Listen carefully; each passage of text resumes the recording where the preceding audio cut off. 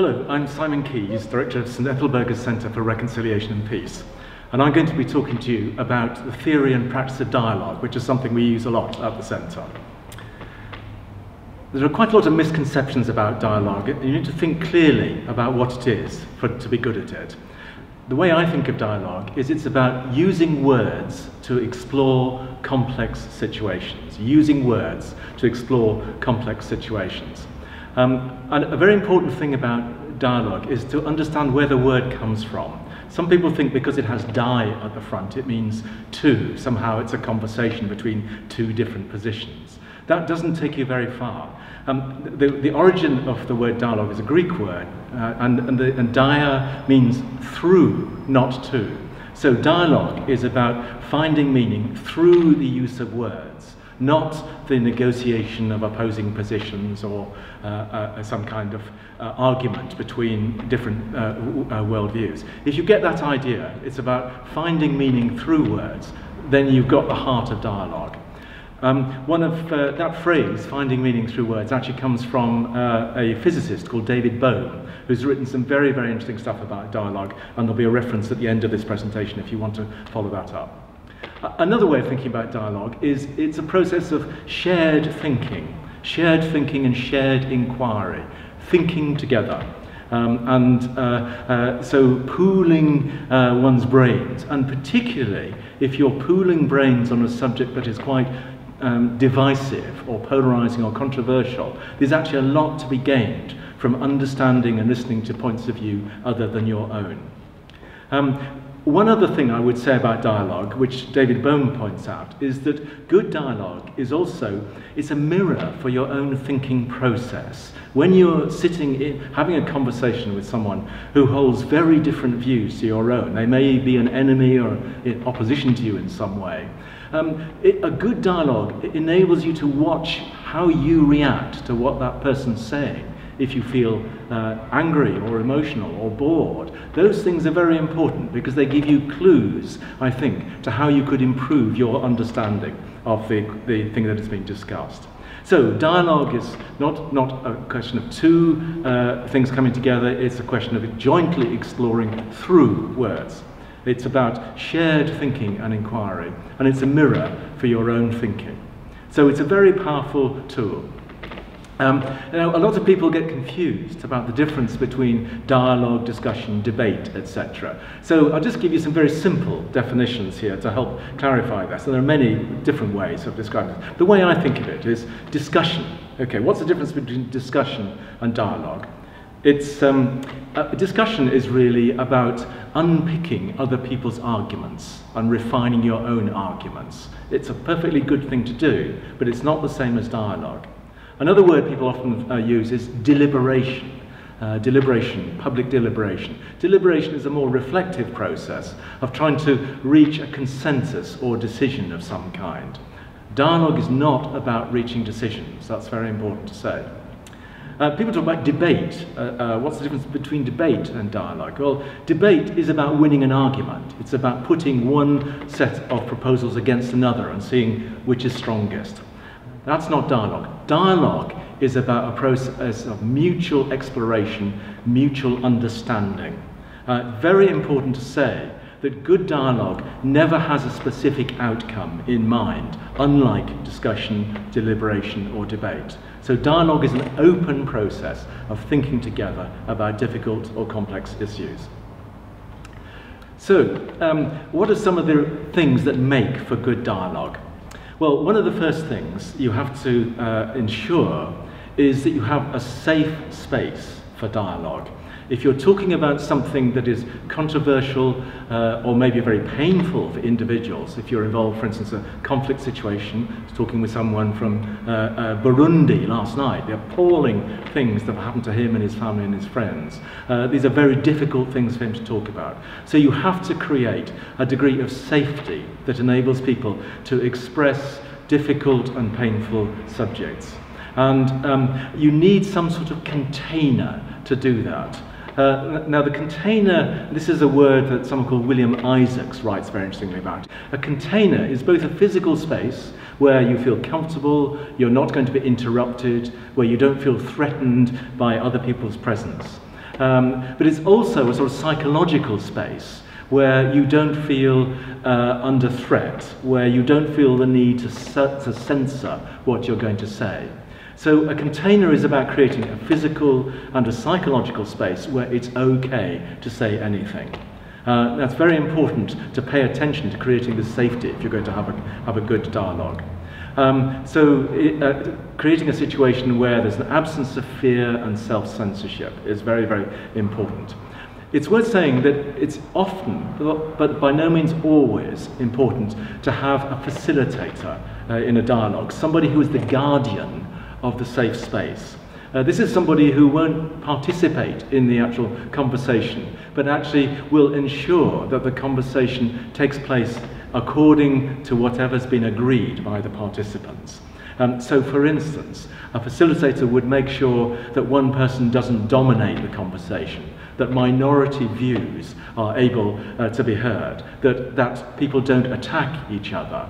Um, it's also worth saying that a facilitator would encourage people to ask good questions, encourage them to be curious about other points of view. So a facilitator keeps the, the conversation open. Um, and uh, uh, it is possible to have good dialogue without a facilitator, but very often I think that certainly if you're going into a new situation where people don't know each other, they may, be frightened of each other, or they may be anxious about the dialogue itself, then having a, a trained facilitator is probably going to be very helpful. And facilitation is not a very complicated thing. It's actually common sense, but it really requires clarity. So, let me just say a little bit more about uh, uh, uh, uh um, what actually happens in dialogue. And I'd like here again to refer to William Isaacs. Um, he has some uh, uh, good observations about what people need to do in a dialogue for it to be successful in exploring complex issues. Um, the first is um, to suspend assumptions, certainties, and judgment. You may go into a situation thinking you know it all, and in which case you will not be able to have a dialogue. Because the essence of dialogue is actually listening to points of view you may not have considered or that you may have rejected. So you have to uh, go into a dialogue willing to suspend the assumptions you make about other people, willing to suspend the judgments you make about other people. If someone says something that makes you angry, don't jump in and try and shut them up. Listen to what they're really trying to say. Check that you really understand what they're saying, not the little voice in your head which says what you think they might be saying. And suspend that and keep, keep listening. So suspend assumptions, judgments, certainties. And a good facilitator will help people do that.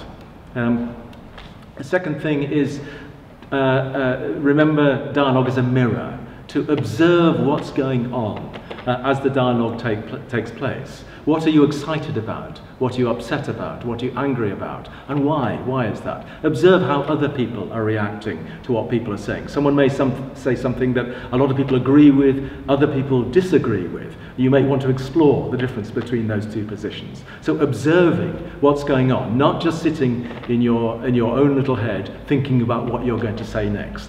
A lovely line, I don't know where this came from, somebody told me once was, what's the opposite of listening? It's preparing to speak. You're too busy thinking what you're saying next to actually listen to what someone else is saying, and you could be missing something really important. So, um, another very important thing about dialogue is it, it should be a leisurely process. Uh, not a rushed process. You're not trying to reach a decision, you're not trying to solve the problems of the world, you're trying to understand other people's points of view. So slow things down a bit, be curious, be inquiring, ask questions. Don't feel you have to rush into making decisions or reaching conclusions. In a way, the slower and the more open a dialogue can be, the more effective it will be. Um, so that's um, uh, uh, uh, some of William Isaacs' ideas about what successful dialogue is. Um, and one other thing I think I would say is um, in a dialogue, be fearless if you can. Don't avoid difficult or polarizing subjects. See them as something that within the safety of this group you can actually explore, be curious about, find more about, um, and, and even explore perhaps your own feelings about why they may be difficult. So be brave um, and befriend polarization or difference or division. That's what you're really there to try and grasp. So there are some thoughts about what uh, happens in a, in, a, in a good dialogue. Okay, I'd now like to say a few words about what I think the main skills are involved in dialogue are for the participants. And a facilitator may well train you in these skills or will certainly be trying to encourage you to use them in a dialogue. Um, and these are really, really simple, obvious things, but it's amazing how often we don't do them. The primary skill of dialogue is the skill of listening. Uh, being able to listen to what someone who doesn't share your views is saying. And one of the tests of good listening is are you able to repeat what someone has just said to you accurately? Um, particularly if it's something you disagree with or may upset you. Uh, if you've not understood it accurately, how can you trust your reactions? How can you trust that you've understood that person's position? So the ability to listen accurately to things that may be uncomfortable is really crucial to good, good dialogue. And listening is, is a skill that can be learned. It's about emptying your mind of your own preoccupations, listening to what someone else has to say. It's about being accurate, it's about recognizing the emotional effect of, of something being said on you, and so forth. So you'll probably have another talk about listening, but listening is the primary skill involved in dialogue. If you're not listening, you're not in a dialogue. Second related skill is asking good questions. Uh, not the kind of accusatory questions, why do you think that, or surely you don't, but open-ended questions. I'm really interested that you say that. Tell me more about that. Gosh, I've never heard that before. Um, and questions that encourage people to say more rather than uh, censor or judge them. So if you're listening and you're asking good questions, uh, you are most of the way to a, a good dialogue. The third uh, um, uh, quality that you need to bring to a good dialogue as a participant is curiosity. If you uh, go into a dialogue not prepared to listen to something different, something you haven't experienced before, or you allow yourself to become bored, uh, or uh, uh, you start trying to simply defend your point of view uh, at the expense of other people's, you won't have uh, a dialogue. You won't be able to explore what's going on here. If you are curious, uh, all kinds of things open up. If you have a disagreement, if you have a severe disagreement, be curious about why you have a disagreement. Don't get stuck with the fact you are having a disagreement. Why are you having this disagreement? What is this disagreement about? Why is this disagreement important to me? Why is it important to someone else? So curiosity is the great enabler of dialogue. So just to recap, the primary skills of dialogue, simple human skills, but which need to be brought to bear in this safe space are listening, asking good questions, and curiosity. If you do those things, you are in for a voyage of discovery of difference. So one final uh, aspect of dialogue that I'd like to mention in this introductory talk is that dialogue is not just about issues. Dialogue is also about relationship building. Um, this is a very important uh, aspect of, of, of, of dialogue. It's not about just about gaining information or understanding other intellectual viewpoints. It is actually about reinterpreting, if you like, the relationship you have with the other person or people in the group. Now, if this is someone with whom you are in conflict or with whom you have a big disagreement, you can see how important dialogue is if dialogue enables you to recalibrate uh, this relationship. Now, what is really, really important in allowing this to happen is that within the safety of this contained space, uh, that people speak as personally as possible about how the issue being discussed affects them. That they talk about their own personal experience, um, that they tell stories, that they don't try and theorize or defend ideological positions, but they speak personally about what the effect of this conflict or this issue is on them.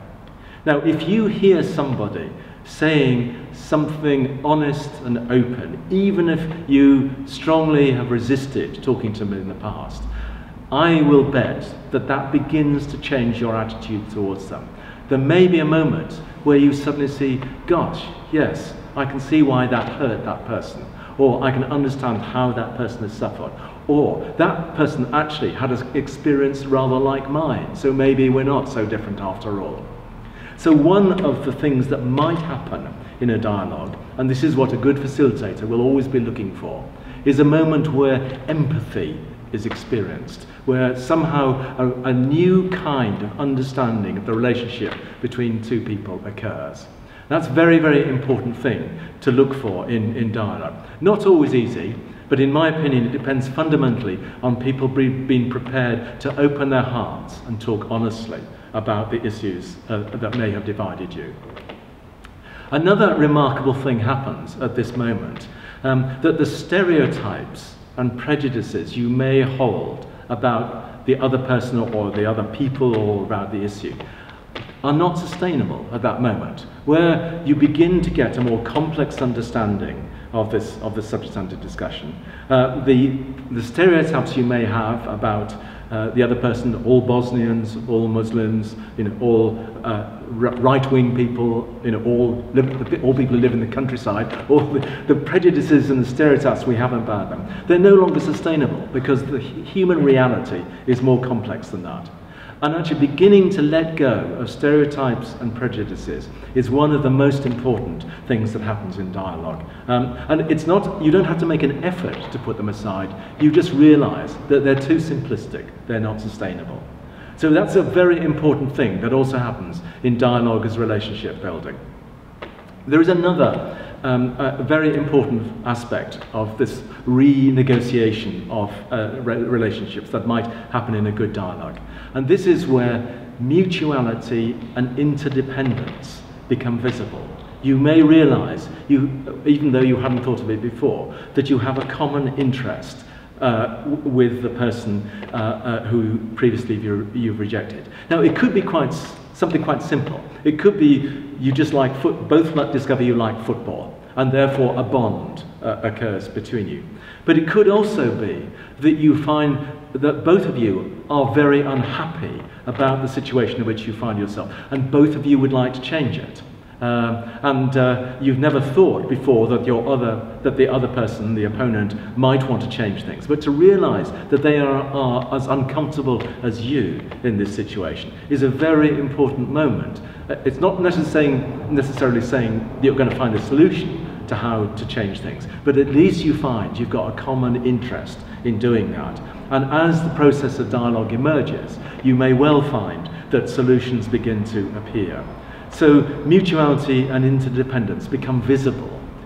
So just to recap, the aspect of dialogue as relationship building is, is a very, very uh, important thing that facilitators and participants should be aware of. The potential for changing the relationships between the participants in a way that changes the world. And the three aspects of it are First of all, that people have to be prepared to speak honestly and, and, and openly, speak personally, speak for themselves and not try and rep represent other people's points of view. Secondly, that wonderful moment where you realize you need to go beyond stereotypes and prejudices. And then thirdly, looking for those moments when mutuality and independence become, become visible. So those are the, the key things I would like to, to share with you about, about dialogue as a, as a starting point. Um, there are some things you can read which will uh, uh, come up on your screen in a minute, I think. Um, and just to, to encourage you, um, I have found dialogue an incredibly enriching experience. Not just about problem solving, not just about dealing with difficult situations, but I've found my own thinking, my own awareness of the world, my own perception has been really changed by good dialogue enabling me to see how other people see the world. Um, and you can see uh, that if that happens, uh, that really makes a huge difference in terms of any kind of conflict, disagreement, division. Dialogue provides an opportunity for opening up and re-understanding the world in a way that leads to change. Thank you.